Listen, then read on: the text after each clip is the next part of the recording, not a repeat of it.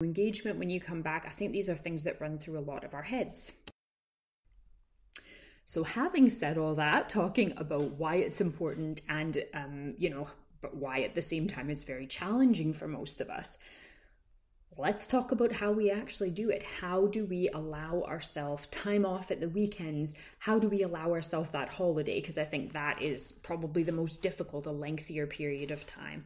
How do we actually make that happen without affecting our business in a negative way?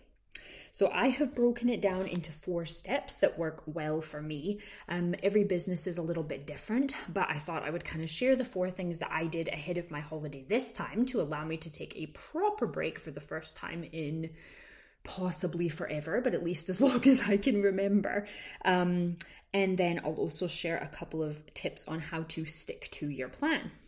So, tip number one look ahead at your calendar. So, if you have a little bit of flexibility and when you're planning your holiday, look at your calendar and figure out when the least disruptive time is for you to take it. So, for certain industries, you might have a busy season. Um, for my wedding and family photography business, traditionally, April through October is my busy time. It starts to quiet down in the lead up to Christmas, and then January, February, March are essentially um, my quietest months. So I know that that's a good time for me to take a holiday if you have school children, that becomes a school age children, um, that becomes a little bit more difficult. My daughter's still in nursery, so we can be more flexible. Um, but you might have to plan your holidays around um, around your children's school, around your partner's work schedule. So it's not always as easy as just picking your quiet time, but that's a good place to start.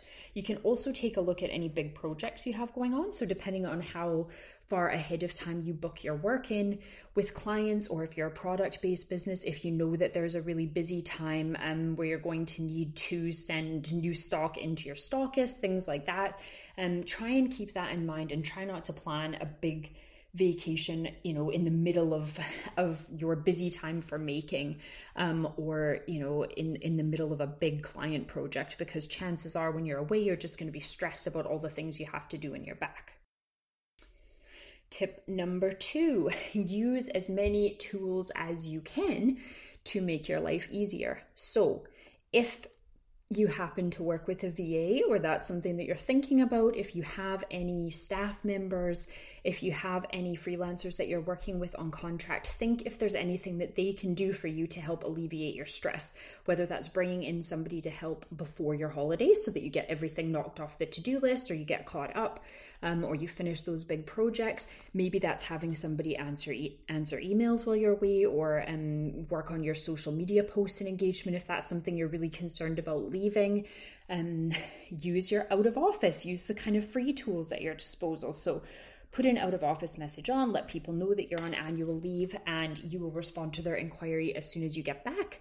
I will sometimes um, note my availability. So if I know, like, for example, again, with my wedding and family business, a lot of times couples are quite anxious to book a photographer quickly, especially if their wedding is coming up in the short term, which is happening a lot right now with all the COVID reschedules and postponements. So I kind of put a note in there saying which months I'm already fully booked for, where availability is, and to let them know I'll get back to them ASAP when I return to my desk the following week. I also wanted to note here that you can look at a social media scheduling app. So um, I didn't do this for this vacation, and I'll tell you why in a minute but you can use um, various apps, some of them paid for, most of them have a free version. So there's Hootsuite, there's Later, there's Socialbee, um, there's Sked Social, there's probably loads more that, that I haven't used before, but these tools allow you to schedule your social media posts in advance, which can be very helpful in planning in general, but especially if you're going on a holiday, if you are really concerned about the algorithm and you don't want um, to go for a week or two weeks or however long your holiday is without posting, you can simply create your content and schedule those posts in. The reason that I did not do that this time, so I actually do pay for um, Socialbee, which is a scheduling app. I can create my content in there and schedule content out, but I didn't this time because I wanted to take a proper break. And I feel that if, um, you know, if I'm preaching about how important it is to take a break and how, you know, we shouldn't let algorithms and concerns about social media override um, our needs as human beings, it wouldn't look very good if I then scheduled a week's worth of posts um, and didn't look like I was on holiday at all. So this time, instead of scheduling posts, I was simply honest. I put post up on my social media about how I would not be posting for the next week because I'd be on holiday and I was going dark, and that worked really well for me. Um, and I have to give kudos to my friend Denise Strozel at Sandstone Castles Marketing. Denise is the one who um, who first mentioned this to me. We were talking about taking a real break and going on holiday. This is ages ago now, and she was saying how you know, even though she uses scheduling apps, now when she takes a holiday, she doesn't bother because she wants to take an actual break and how she thinks that's really important. And I totally agree. So thanks for that, Denise. That was a really um, refreshing way to go on holiday this time. Right, tip number three let your current clients know that you're going on holiday and wrap anything that's sort of essential or time sensitive or especially important up before you go. So, I was in the middle of a big brand photo shoot project and um, I was hoping to wrap up ahead of going on holiday, but there were a few bits and pieces that I hadn't finished yet. I was still ahead of schedule, so I didn't have to finish before holiday to meet my deadline. However, I kind of had it in my head that it would be nice if I did.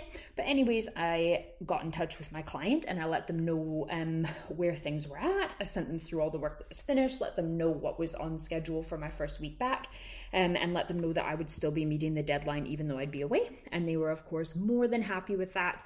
Sent me a lovely message about how I should have a well deserved break um, and even checked in to see how it went when I was back at my desk on Monday. So you can try and wrap up as much as you can before you go, but most of your clients and customers are going to be understanding. They know that you need a break. And as long as you give them a heads up so that if there's anything that they were looking for help with or that they're feeling stuck on, they don't feel like you've deserted them with no notice notice. Um, there's absolutely no problem with taking a break, even when you have ongoing projects. And my final tip for planning ahead is quite literally plan ahead. If you're worried about social media, schedule your content. Make yourself a to do list a couple of weeks before your holiday of all the essentials that you have to get done. Make sure those tasks get prioritized and set yourself a to do list for when you're back. So, this is something new that I tried this time. So, I made my to do list. I knew everything I had to get done before I, I left. I did, I got all of that done. But I actually made my to do list for the week that I was coming back before I left on holiday so that I wasn't thinking on holiday, oh, I have this to do or that to do, or oh, I don't know what I need to do when I get back. I knew that my to do list was ready to go, it was prioritized. I knew what tasks I had to do first. Um, and I didn't come back feeling frazzled or like I was kind of jumping into the deep end because I already had a plan in place. So, those are my top four tips for planning ahead for a vacation. Number one, look at your calendar, try and time it out as best you can. Number two, use the tools that are available to you, whether that is staff, freelancer, or just simply tools like an out of office or a content scheduler. Number three, let your current clients know. Give them a little bit of notice that you're going away and make sure that you wrap up anything that's essential for them before you go. And number four, plan ahead. And um, even if you're not scheduling your content, work out that to do list, know what you'll need to do when you get back, and that will help you um, go on holiday with a clear mind. I just wanted to add a couple of little tips at the end here about how to actually stick to it. So, you make a decision, you're going to allow yourself a proper break, you're not going to check the emails, you're not going to do any work. So, how do you actually make that happen? So, for me, there were a couple of things that I had to do. Number one, I let my husband know that that's the way that I wanted to work things. I did not want to be doing any work while we were away, and if he caught me doing any work, he was to give me a um, a scolding. so, so I knew that he would kind of help keep me in check, and I had actually said it out loud to somebody else that I was taking a real break. I had put it out on my social media accounts that I was taking a real break, so nobody was expecting me to show up there. I had that accountability because I had said out loud, "I am going dark. I'm going to take a real break." My second tip is to leave your laptop at home. so, um, for me, because I do a lot of photography work, I am often not behind on editing, I'm not missing deadlines and things, but I always have editing that I could be working on, whether it's stuff for my own business or for clients. And I would often bring my laptop and bring my portable hard drive and think, ah, oh, you know, if there's a quiet evening and we're not really doing much, or if I'm up early one day, um, not likely with me because I'm a horrible morning person. But if I've got a little bit of downtime, I could always get a few hours of work done, and I would without fail every time I would end up on the laptop editing photos. So this time I simply did not bring a laptop, and um, so I didn't even have the option to do any work. That was a big game changer for me. And my third and final tip for sticking to your proper break is to remove the apps that you know you're going to check in on all the time, or at the very least, silence the notifications on your phone. So, I know I'm not the only one who will aimlessly scroll through Instagram. If I get bored or if I see messages popping up, chances are I'm not just going on to check a message. I'm going to end up spending half an hour scrolling through. Nothing wrong with that, but if you are trying to take a break, spending half an hour, an hour every day on social media, engaging, um, you're not really taking a break from work then. So if you can work up the discipline, and this is a tough one, you could actually remove those apps from your phone and just re download them when you get back. It only takes a few minutes. I wasn't quite brave enough to do that this time, but I did turn the notifications off and I did kind of keep my phone um, tucked away. I took it out if I was taking quick pictures or videos and I didn't want to pull out my proper camera, but um, I don't even think I connected at the Wi Fi at one of our two Airbnbs because I just wanted that break. So try and be disciplined, try not to peek too much at your emails, um, try to stay off social media, leave that laptop at home and um, tell people, tell people that you're taking a real break so that they will hold you accountable. So I hope that that helped. I hope um, that shared a little bit of perspective. I shared a little bit about my own experience. Um, of taking a proper break for the first time in who knows how long. I can tell you that when I came back, my business was still here.